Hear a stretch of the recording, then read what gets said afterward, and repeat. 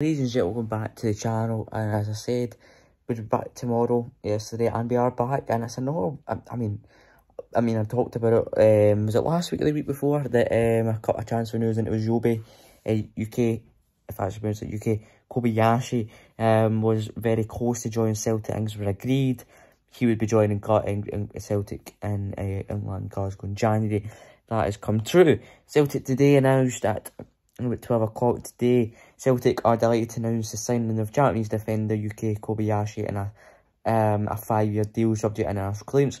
Yuki will officially join the club on January 1st, 2023.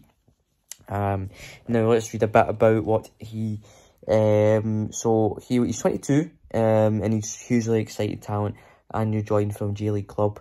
Uh, Vissel Kobe in a five-year deal. He'll be able to join the new Celtic teammates from December 1st.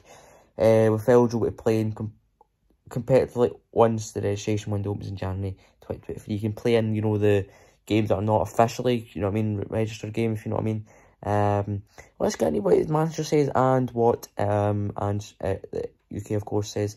So it says, uh, you'll be with job blah, blah. Speaking to Celtic, he says, I'm so excited to be joining Celtic and I'm really um, looking forward to this wonderful opportunity. I'll be given everything to try and be successful with the club.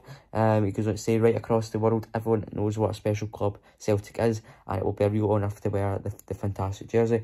It goes on to say the work of Ange Postecoglou is also really well known in Japan after had such great time in the J League and as well have been part of Celtic. I can't wait to work with him as a coach and the great team of players players already developed. I know Celtic um, over so many years, such such a brilliant track record of success, and I want to play a part in that uh, to the club.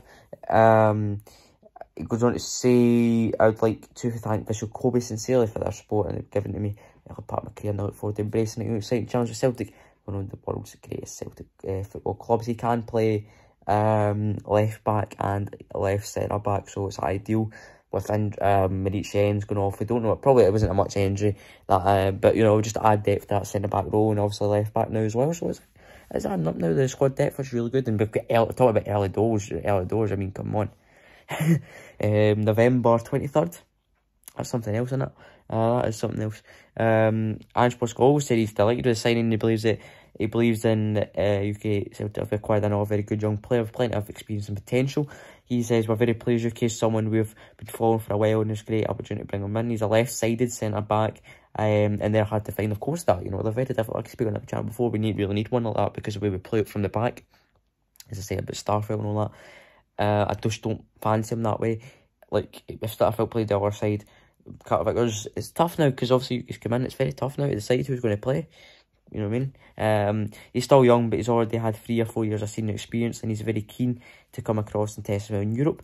I think we saw last year that bringing in guys nice and early gives opportunity to bed them in, which we saw by Dad, Hatate, Kyo, you know what I mean? You, you know, uh, Gucci we kind of saw not much was injury, but you know we'll probably see that soon. Um, in that six month period in the second half of the season, and we're really looking forward to having him as part of the group. He's a he's at a really good age where he's started to, um, had some great experience with some great potential ahead of him. Uh, he's a good young man who wants to have a real crack at it here in Europe and for us it's a good opportunity to invest in a young player.